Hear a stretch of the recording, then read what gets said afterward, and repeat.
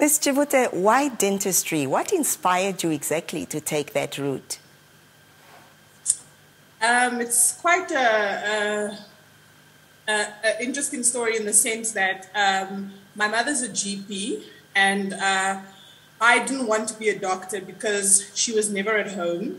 So I just felt that I wanted to still work in health, but I didn't want to be as busy. Um, I kind of wanted when I come home, my day clocks off type of thing. Um, and yeah, that's what inspired me initially to get into dentistry. Um, so yeah, I, you could say I was in a sense uninspired by my mother's job, and that led me to look for other options. Um, and while I was applying, there were two options where you had a Bachelor of Dental Surgery, which is to become a dentist, and then there was the option to be a oral hygienist, um, which is a Bachelor of Oral Health, and that's the one that I chose. So, being in the dental profession means you work closely with your patients. How do you protect yourself against, uh, or especially during COVID 19? This is quite interesting because um, everyone else sort of has adapted, adapted to the dental uh, fraternity's way of doing things. That's what I've always told patients because we have actually always worn masks. We've always uh, had high levels to surface disinfectants when we clean the, the operatory. So um, we actually were used to, I think, the setting.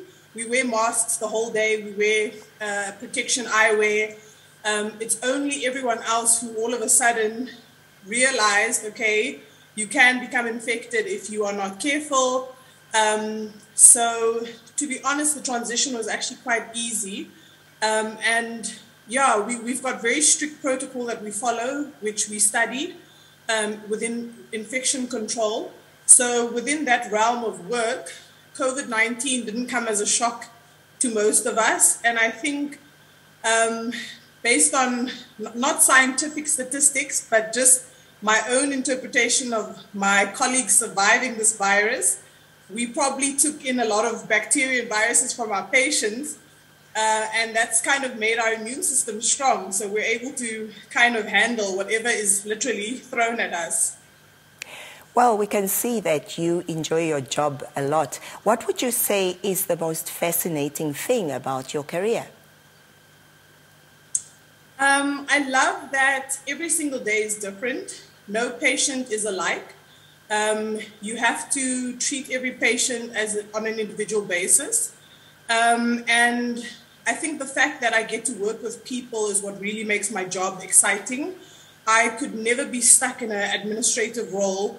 Um, in fact, before I got into dentistry, I was doing a BCom in economics and management, and I hated it. I didn't like um, where it was going and how I saw my future. So to be honest, I, I love the fact that I work with people, that I can change lives, um, and that uh, people actually come to you at the end of the day and they're like, you know, you saved my marriage. My husband's breath was, you know, a disaster, and um, you literally cured it. So yeah, just with the techniques and everything that we've we've learned and studied at, um, at varsity, we're able to change people's lives, and I think that's the the most fulfilling part of our jobs.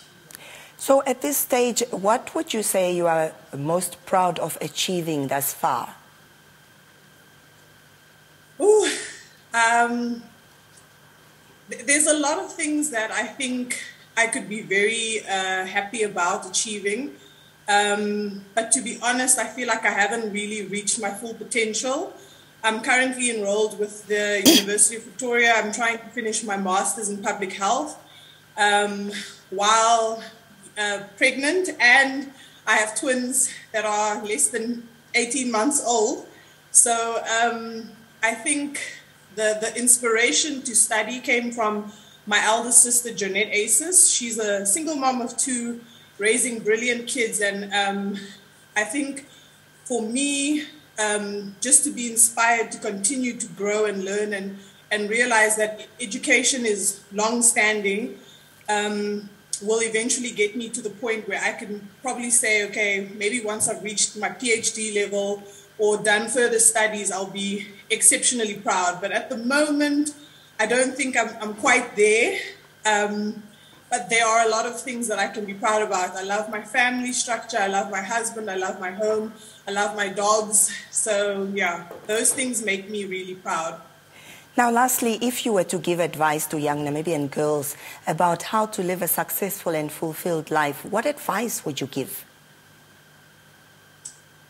Um, number one is you have to focus on working on yourself um, and trying to be the best version of yourself. You're not competing against anyone, and um, to become as independent as possible.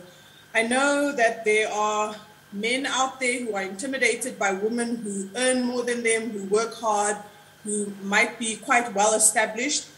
Don't ever stop chasing your careers or um, not becoming your full potential because you're scared of not landing with somebody. The right man will find you within your setting as long as you chase your career. You have to be independent, you have to work hard. Um, it's something that I, I love uh, about my husband and I is we've always sort of been a team. We work hard, we build together, and I think um, Thank women you so should much. try to aspire to be independent. Thank you so much, Lizette Tshivute, uh, registered dental hygienist. Thank you for speaking to us. Thank you for having me.